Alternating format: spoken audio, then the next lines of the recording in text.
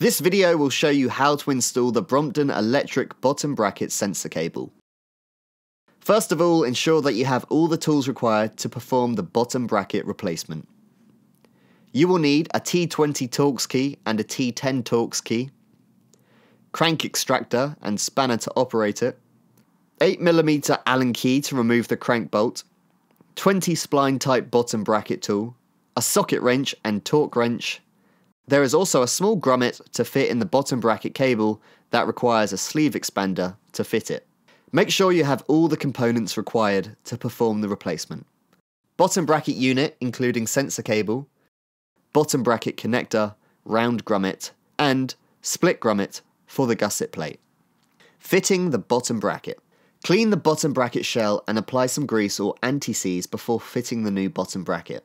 The bottom bracket on the Brompton Electric contains the sensor cable so the fitting will be slightly different to the conventional one. This cable here needs to remain in the same place. You will need to prevent the cable from moving along with the crank. If you check on the non-drive side part, you can see some locating teeth on the bottom bracket shell and they interface with the locating groove in the driven side cup. Once ready, start fitting the non-driven side by screwing it manually clockwise. Take the torque wrench, which is set to 25 Newton meters, and tighten the cup fully. The drive side part of the bottom bracket contains the sensor cable, which needs to feed through the bottom bracket shell here.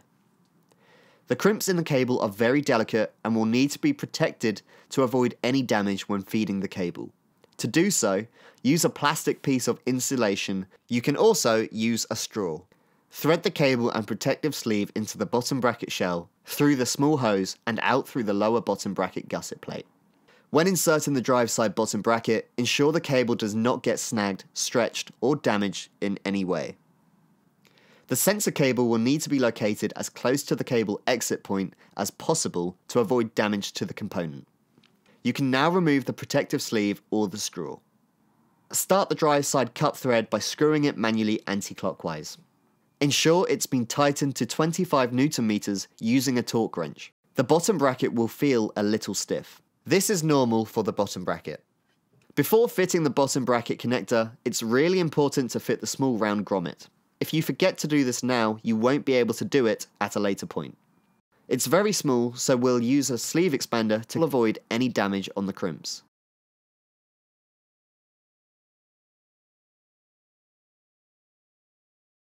It's important to do this before fitting the connector. If you fit the connector first, you will not be able to fit the round grommet. Also, the split grommet needs to be installed on the bottom bracket gusset plate. This grommet is directional to ensure the bottom bracket cable exits the frame in the right direction towards the junction box. It also protects the sensor cable against the gap on the gusset plate and the main frame from moisture ingress. It can be fitted by hand, or you can use a flathead screwdriver to gently help you fit in the grommet. Just be careful with the paint and do not pinch the grommet. Once bottom bracket and both grommets are securely fitted, please fit the wiring crimps to the plastic connectors. Take the old connector as a reference. It's very important to fit the cable in the right order. If you fit one wrong, you will need to cut the cable and fit a new bottom bracket. If you look at this connector, there are five color wires. The top left is white, top right is black. The bottom starting from left and working to the right is grey, brown and blue. Before fitting the crimps into each hole, ensure the orientation of the crimp is correct. The groove needs to be facing up. The two wings on the side need to be with 45 degrees. To ensure the crimp has been fitted correctly, you will hear a click sound. Pull it gently, making sure it does not come out. Repeat the same step with the rest of the crimps. If you see one of the crimps with a damaged wing, the bottom bracket needs to be replaced, or you can try to pull the wing out to 45 degrees approximately. Finally, connect the bottom bracket connector to the controller. To keep the cables tidy when refitting to the junction box, the cables can be gently twisted. Make sure not to overturn and put undue pressure on the wires.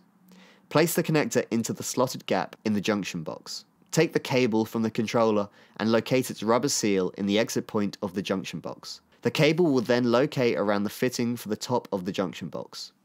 With the other hand, locate the sensor cable in between its various pinch points and place the grommet on the lip of the junction box. Once everything is sitting in the right place, proceed with the fitting of the junction box cover.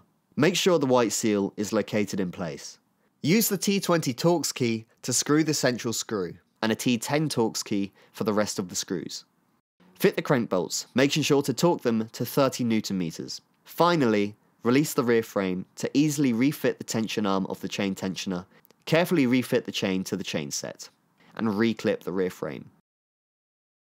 Before delivering the bike to the customer, connect the bike to the diagnostic tool.